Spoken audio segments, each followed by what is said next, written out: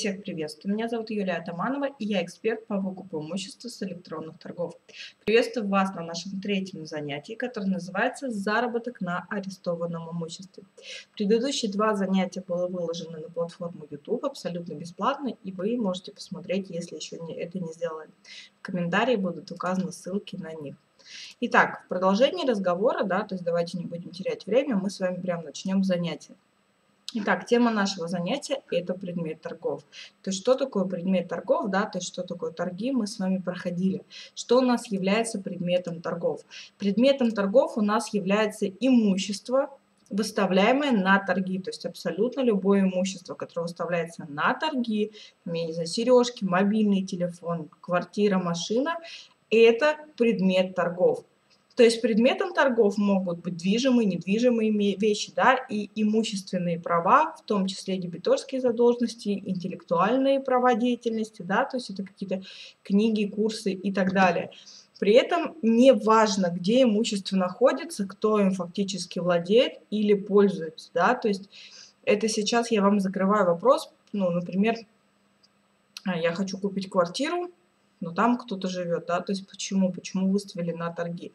И вот эта вот фраза именно, да, то есть неважно, где оно находится и кто им фактически владеет, то есть оно в любом случае выставляется на торги, является предметом торгов. Имущество у нас делится на два типа. Это залоговое, то, что находится в залоге, и арестованное. Давайте с вами прямо будем разбирать, в чем разница между этими двумя торгами. И смотрите, вам прям вот необходимо будет понимать, различать эти два типа. То есть залоговое имущество и арестованное имущество. Почему? Давайте далее разбираться. То есть сейчас вы поймете. Залоговое имущество – это у нас, которое реализуется в рамках 102 федерального закона. Да? То есть это, да, то есть это, как правило, у нас идут что? Квартиры вся коммерческая недвижимость, то есть это вообще об ипотеке, то есть 102 федеральный закон и об ипотеке. И бывает очень часто, что, например, человек берет ипотеку, он думает, что он ее будет платить, а он не может ее выплатить, да, то есть, и, как правило, это все то, что связано с договорами. Ну, к примеру, взяли в ипотеку земельный участок, не смогли платить, а взяли прям под залог, я не знаю, там какой-либо коммерческий объект не смогли платить, да, то есть все это реализуется в рамках 102 федерального закона. Дальше, арестованное имущество – это то, что в рамках 229 федерального закона, и это то, что является нарушением, ну, является результатом нарушения должником. К примеру, алименту. Отец не платит алимент, у него забрали машину, выставили на торги, это реализуется в рамках 229 федерального закона. В любом случае, когда мы заходим на сайт торги.gov.ru, у нас публикуются в рамках 102 и 229, да, то есть они одинаковые, выглядят торги одинаковые. Но нам важно разбираться и важно понимать во всех этих тонкостях. Какие у нас с вами бывают торги? Хоть мы это проходили, но в любом случае немножечко повторимся. То есть какие у нас с вами бывают торги? Торги бывают двух форм. Это онлайн, это офлайн. Онлайн это когда мы, например, дома там где-либо в кафе, там, берем ноутбук, берем электронно-цифровую подпись и участвуем в торгах дистанционно, удаленно, да, то есть готовим документы, подаем заявку на участие в торгах и участвуем. Оффлайн торги – это когда мы едем на адрес организатора торгов. И там путем поднятия карточек, так же как в кино, участвуем в торгах. Где найти лоты? То есть где они у нас прячутся, давайте с вами прям перейдем и посмотрим. Хотя да, мы уже смотрели, но тем не менее, то есть будет удобнее, если мы с вами прям вместе еще раз это сделаем. Итак, где же у нас с вами все публикуется? Сайт торги.gov.ru. Он прям так и называется. Торги.gov.ru. Переходим сюда. Дальше нажимаем вкладку «Торги». Реализация имущества должников.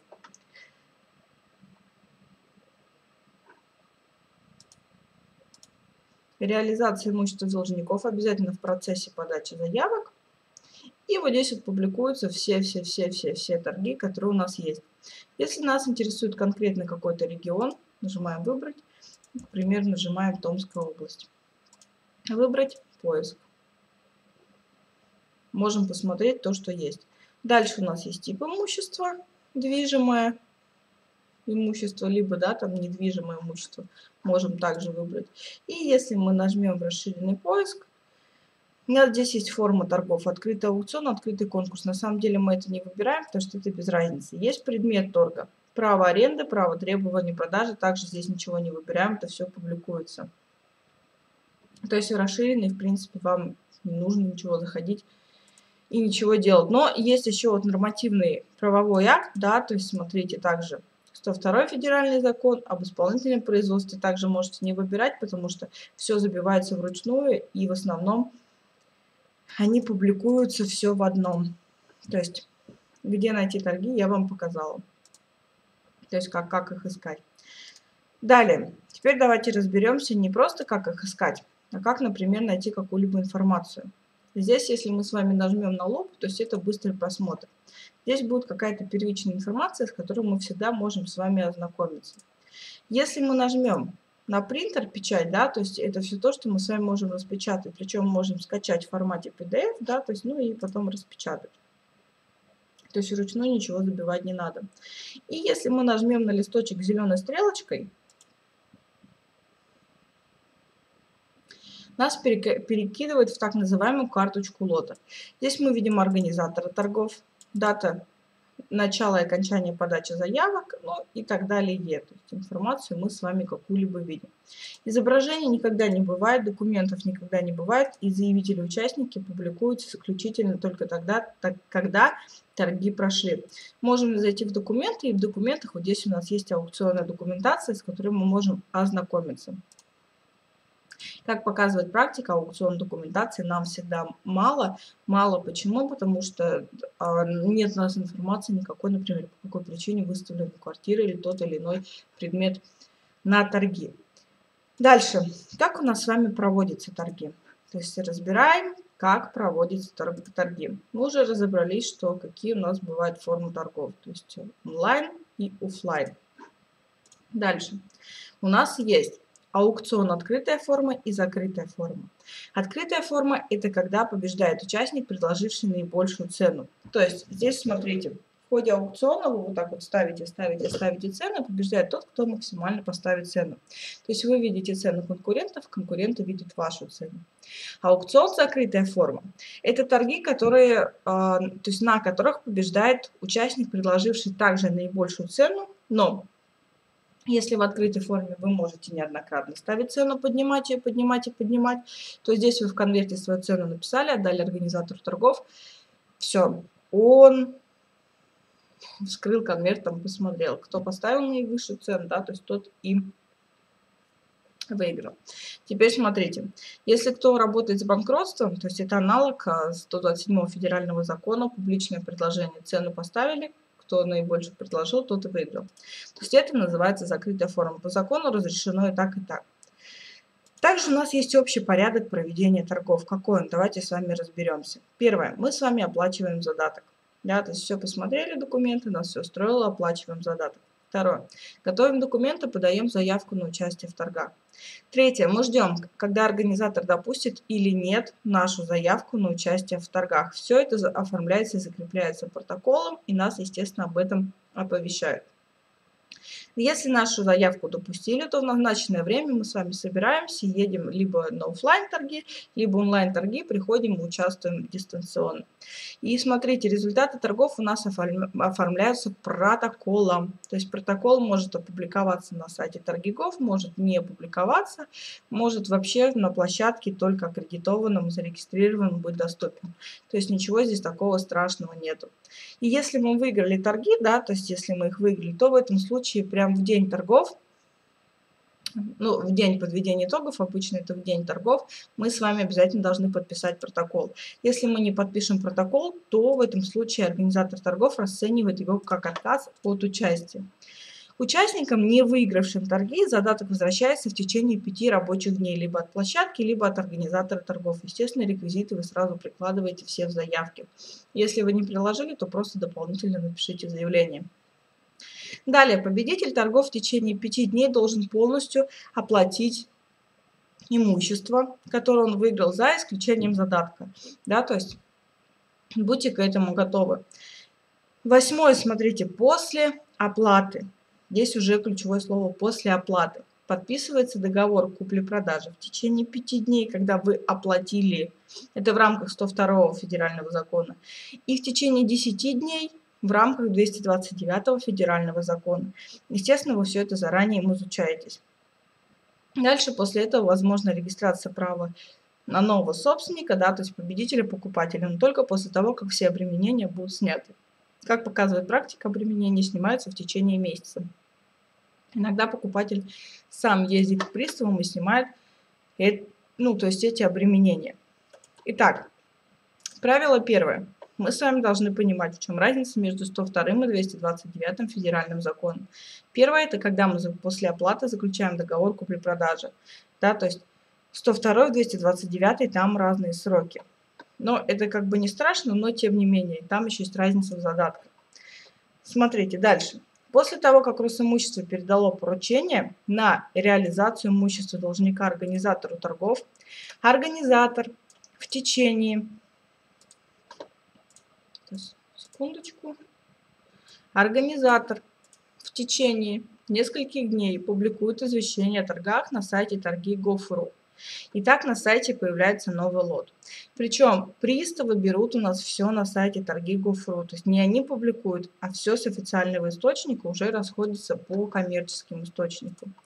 Извещение о продаже движимого имущества, да, то есть или арестованного имущества, должно быть опубликовано не позднее, чем в течение 10 рабочих дней после получения информации организатором торгов, но не позднее, чем за 30 дней до дня проведения. То есть именно до дня проведения торгов это сбор приема заявок у нас составляет 30 дней. Извещение о продаже залоговой недвижимости должно быть опубликовано также не позднее, чем за 10 дней, но не ранее, чем за 30 дней до их проведения. Таким образом, если вы находите совсем свежее извещение, то чтобы изучить этот лот, собрать всю необходимую информацию, созвониться с приставами, съездить к организатору торгов, сделать запросы, у вас предостаточно. Да, то есть для этого у вас есть для движимого имущества не менее 30 дней, для недвижимого имущества от 10 до 30 дней, в основном это всегда у нас 30 дней.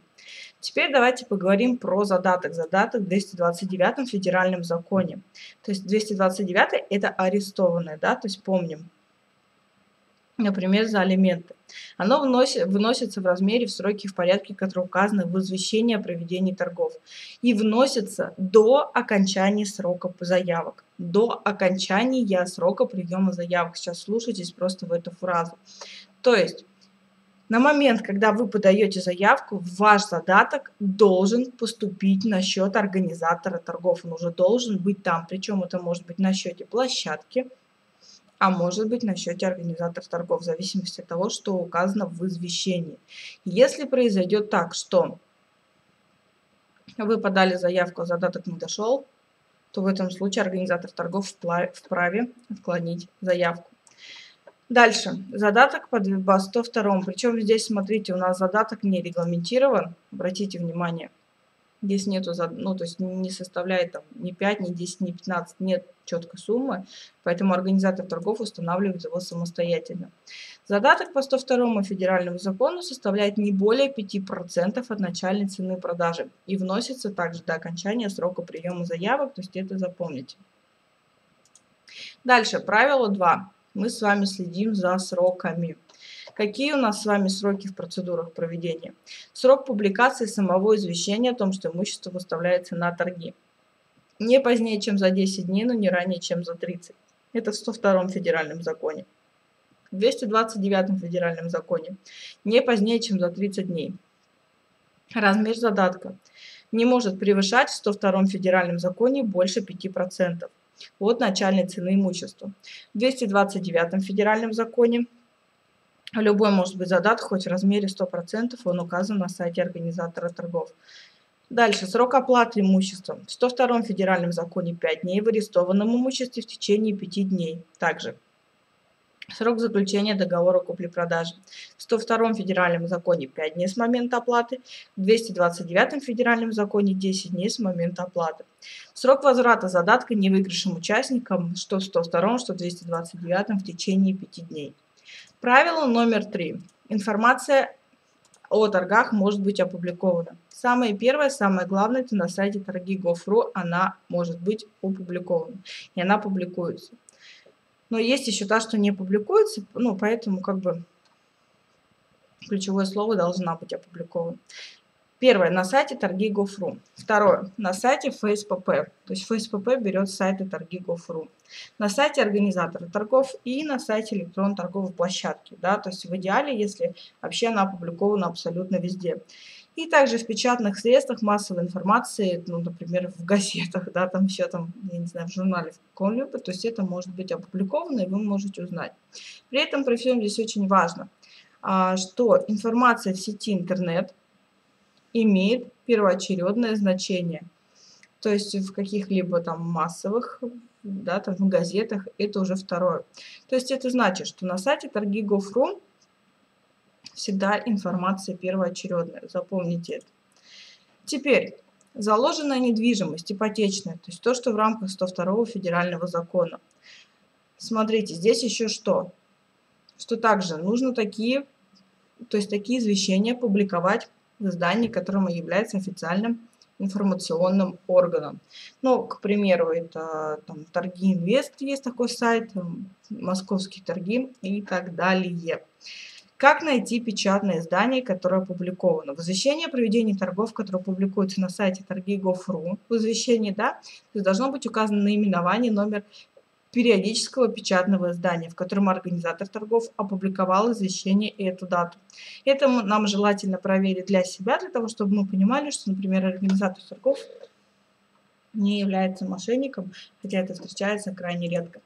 Правило номер четыре. Внимательно изучаем извещение. Вся информация, которая нам нужна для начала работы с лотом, публикуется в извещении о торгах на сайте торги.gov.ru. Запомните это. Что нам с вами нужно найти в извещении? Итак, первое. Время, время и место проведения торгов. Форма торгов, имущество, которое будет продаваться. Если это недвижимость, то должны быть указаны данные, которые позволяют определенно ее установить. В частности, нужно указать кадастровый номер недвижимости. Что конкретно, да, то есть бывает так, что у одной квартиры, например, два адреса, грубо говоря, ну, например, кадастровый номер, либо это там с долевой недвижимостью. О существующих обременениях залог ареста обязательно надо знать, потому что снимать нам их.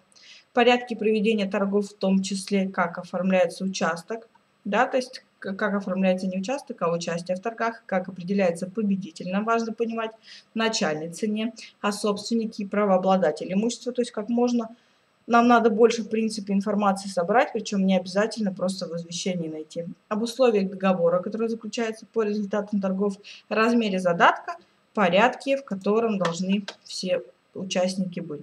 Дальше. Оценка имущества. Как мы оцениваем арестованное имущество? Имущество предлагается покупателям по цене, которая обычно меньше той, что указано в постановлении пристава о принятии оценки. То есть все имущество выставляется на основании оценочной деятельности. И оценка у нас бывает, смотрите, судебная оценка, она может быть бессрочной, и оценка компании, привлеченной в Федеральной службы судебный пристав. Да, то есть если это в суде зафиксировано, то это одно. Если это Федеральная служба судебных приставов, то там в течение 6 месяцев все это должно продаться, иначе оценка будет недействительной. И самое главное, начальная цена имущества не должна быть меньше оценочной. Теперь, цена лота на торгах. От оценки, да, то есть если мы с вами говорим, например, в рамках 102 федерального закона. 102 феди, что, что, 100, 102, что 229 федерального закона, когда у нас имущество выставляется на торги, оно у нас идет со снижением на 20%. То есть первичные торги от оценки снимают, отнимают 20%. Что в суде, что от приставов. Да, то есть, к примеру, квартира стоит миллион, ее выставляют за 800 тысяч. Если за 800 тысяч ее никто не забрал, то начинается у нас второй этап торгов. И на второй этап торгов квартира уже та же самая выставляется, предмет торгов – имущества, да, то есть на 15%. То есть итого получается первое 800 тысяч, от 800 тысяч мы убрали 15%, то есть получили сумму, за которую мы можем купить, например, какой-либо объект. Я считаю, что это очень круто, что имущество можно намного ниже рынка купить. Дальше. Если торги были признаны конкретно несостоявшимися, первичные, да, то есть если первичные торги были признаны несостоявшимися, то цена должна быть снижена на 15% при проведении вторичных торгов. Если первичные, первоначальные, как угодно, их первые торги не состоялись. Но если первичные торги были признаны состоявшимися, но по какой-то причине покупатель отказался либо не оплатил имущество, то в этом случае цена у нас не снижается. Да, то есть она у нас не снижается. Именно чтобы не должно быть никаких заявителей, то есть торги не должны быть признаны состоявшимися. Как выбрать лот и начать работу с ним, да, то есть давайте разберемся. Итак, а, когда мы с вами выбираем лот, мы с вами должны понимать, то есть, какую комиссию мы хотим, сколько мы хотим заработать на том или ином лоте. И смотрите, ну, я всегда говорю за то, что мы работаем для инвесторов.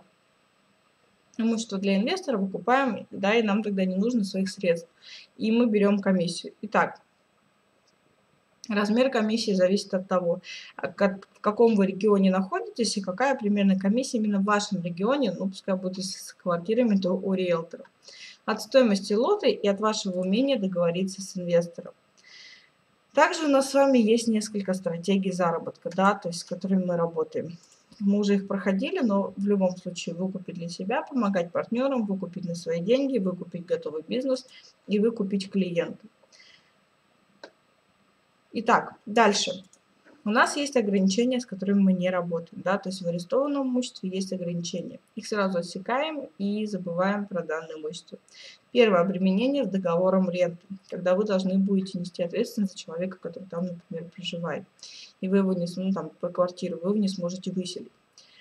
Дальше. Обременение с опекой. Тоже к ним мы никак не относимся, сразу их убираем. И смотрите, Ограничения все мы смотрим в аукционной документации и подробнее будем разговаривать в следующем уроке. Дальше. Проверяем публикации на сайте организатора торгов, указано, да, то есть в извещении на сайте торги.гуфру. Если это на торги.гуфру, то на сайте организатора торгов, на сайте организатора электронной торговой площадки все должно быть опубликовано. Это все нам обязательно с вами сравнить. Дальше. Выясняем среднерыночную стоимость в выбранных лотах на подобных сайтах. Если мы работаем с недвижимостью, то это какие-то ЦИАН, Авито, Домклик, Домру и так далее. Если это машины, то это Автору, Дромру. И сравниваем с ценой на торгах, то есть нам нужно, чтобы цена нашего лота плюс предполагаемая наша комиссия была в любом случае ниже рынка хотя бы на 10-15%, чтобы это было выгодно взять инвестору. Дальше. Прямые договора, да, то есть я говорила, что должно быть опубликовано где. У нас помимо того, что торги проходят электронно, офлайновские, да, то есть э, при использовании с, да, то есть как с аукционом, у нас еще может это все проходить по прямым договорам, либо по-другому реализация на комиссионных началах. Прямые договора – это продажа имущества без проведения торгов. То есть торги там у нас не проходят. То есть это значит, да, то есть это у нас вторая форма, форма реализации является на комиссионных началах. Регулируется она у нас 30 главой 51 закона Гражданского кодекса. Теперь, реализация имущества на комиссионных началах осуществляется на сайте организатора торгов. То есть, обратите внимание, она не публикуется на торгигов, не публикуется на электронно-торговой площадке, она не публикуется нигде в печатном издании, только на сайте организатора торгов. Более подробно мы все это с вами будем разбирать, да, то есть а пока переваривайте то, что сегодня было в нашем уроке. Если у вас есть какие-либо вопросы, вы можете всегда их написать, и я буду записывать.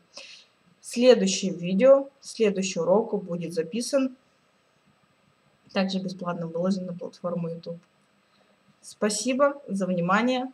Очень рада, что вы досмотрели данное видео до конца.